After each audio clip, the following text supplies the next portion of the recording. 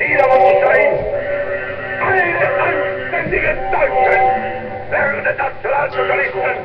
Nur die besten Nationalsozialisten sind Parteigenossen.